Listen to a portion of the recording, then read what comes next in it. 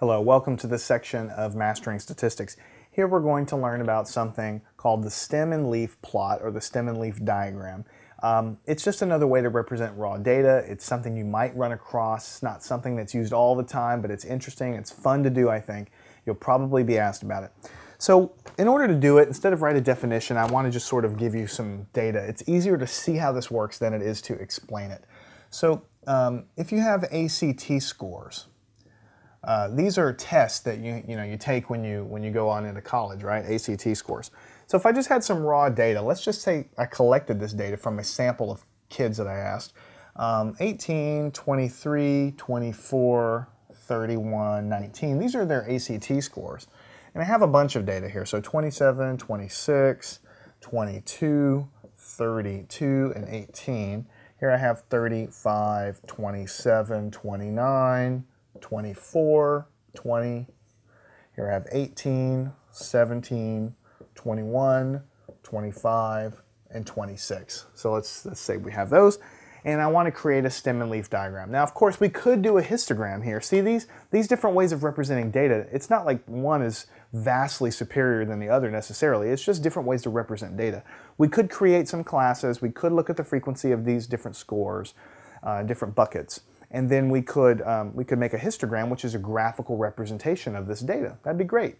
Um, but here we're going to do a stem and leaf plot. So what we have is we have what we call the stem, right? And then we have the leaf, or the leaves. So basically, in a stem and leaf plot, um, it retains the original data. The leaf is the last digit of the data. The stem is the rest. So the leaf here is the last digit. See, here's an 8, here's a 7, here's a 5, here's an 8, here's a 7, here's a 7, here's a 6. These are the leaves. In this case, we only have two-digit data, so everything else, which is the first digit in this case, is what we call the stem. So if I were going to write that down, all right, the stem here, let's say, is a 1. So now I look at everything with a 1 is the first digit. In this case, I have an 18. So for the leaf, it's going to be the last digit will be an 8. I don't have anything. Okay, here I have a 1. So I have a 9 over here. Now notice that my stem is still a 1. So here's 18. 1 when you put it together with the 8 gives you 18. 1 when you put it together with the 9 gives you 19.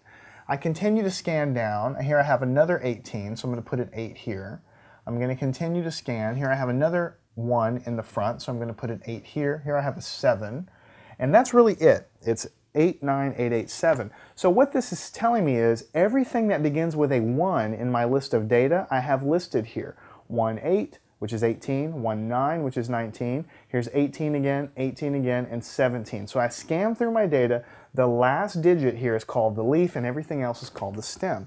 So then I go and look at a new stem that begins with the number 2. And I see I have a 23 here, so I put a 3 here. I have a 24 here, so I put a 4 here. I don't have any more here, but I have a 27, so a 7 goes here. 26, so a 6 goes here. A 22, so that goes here. I scan down, I have a 27 over here. I have a 29 over here. I have a 24 over here. I have a 20, so I put a 0 for that. I scan down here. I have a 1, a 5, and a 6. So I have a 5 and a 6 right here. So right away, you can see that most of your data so far seems to fall in the 20s because I have 1, 2, 3, 4, 5, 6, 7, 8, 9, 10, 11, 12 uh, elements or 12 scores